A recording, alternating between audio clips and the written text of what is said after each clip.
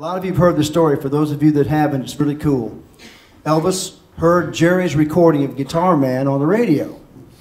And he said, "Oh man, I love that." He uh, he just thought that's that's my that's my next record. So when he got to Nashville, he told Felton Jarvis, he said, "I want to do Guitar Man." And uh, so they got in there, and Jerry is a thumb picker, finger picker, and James is kind of a hybrid because James picks with a straight pick, but he uses a pick on his finger, so he's kind of a hybrid uh, finger picker. Uh, but the guys couldn't play like Jerry back then. Very many people could they?